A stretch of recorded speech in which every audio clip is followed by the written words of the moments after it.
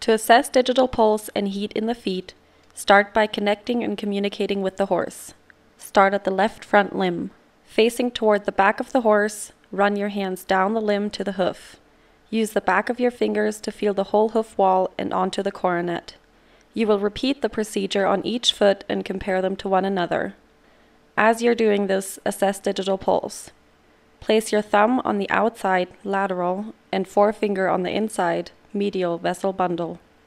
Press into the vessels with these fingers until you feel a pulse. We assess the strength of the pulse on a scale of 1 to 5. 1 is barely detectable, 5 is bounding, visible to the eye from several feet away. Write your findings down while it is still in your memory.